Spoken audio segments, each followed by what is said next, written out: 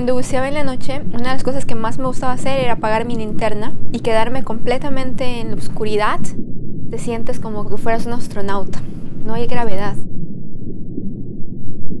Pero luego flotas más y más y ya te olvidas del astronauta y te empiezas a conectar con el océano y entonces yo me ponía a pensar, así es como se debe sentir un león marino flotando, por eso están tan felices y relajados.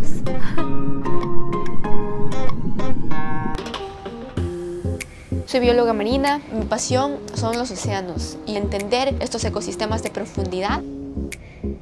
Ecuador te permite experimentar la naturaleza en otro nivel. Creo que eso fue la razón que a mí me inspiró desde pequeña a buscar esta conexión. Yo nunca me aburría porque hay tanta diversidad en Ecuador y cada vez que yo estaba en la naturaleza me sentía tan feliz primera vez que fui al océano. Yo tenía tres o cuatro años y me acuerdo que estaba completamente impresionada. Era como ver que el cielo se ve dividido en dos, que yo ya tenía el traje de baño bajo la ropa y me saqué el vestido que tenía y corrí al agua. que mi mamá tenía que agarrarme porque, porque no me da miedo. Nunca, nunca tuve miedo, sino curiosidad. Yo no tenía duda, yo quería estudiar el mar, los animales marinos. Cuando me enteré que existía la carrera de biología marina, en verdad era como que esto es lo mío. Yo primero fui voluntaria, trabajé aquí en las Galápagos en ecosistemas de profundidad, trabajé en conservación de arrecifes de coral en el Caribe. Ahí fue algo muy muy difícil porque estuvimos trabajando para la conservación de estos arrecifes y de repente hubieron tres huracanes y muchísimos de estos arrecifes fueron completamente destruidos y los huracanes ahora están incrementando en fuerza y todo está relacionado con el cambio climático. Ahí fue cuando decidí, ok, voy a seguir mis estudios académicos porque para hacer un cambio es básico que sepamos lo que tenemos.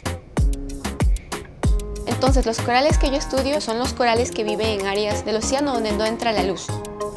Yo creo que para la región es fundamental entender cómo el cambio climático pudiera afectar. Se necesita protegerlos y con eso protegernos, porque nosotros los humanos estamos intrínsecamente relacionados y dependientes de lo que pase con nuestros océanos.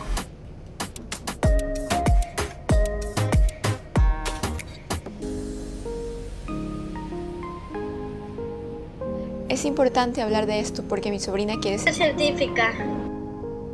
Pero en Latinoamérica hay todavía machismo y ahí está la idea de que el trabajo de campo no es necesariamente algo para una mujer. Entonces tienes que siempre trabajar más para recibir el mismo trato que otros. Honestamente creo que para sobrellevar estas barreras en ciencia y en la vida en general, tienes que confrontar estas situaciones de una forma asertiva, no solo por ti, pero por otros.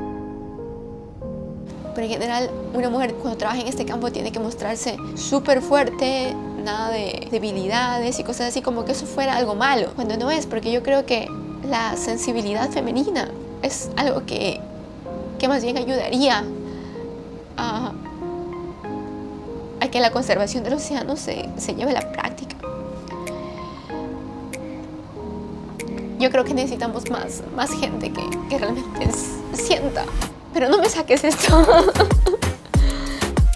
Entonces yo pienso en mi sobrina que quiere ser bióloga marina. Quiero que ella sepa que hay un montón de mujeres ahora trabajando fuerte para que las cosas sean más fáciles para esta generación después.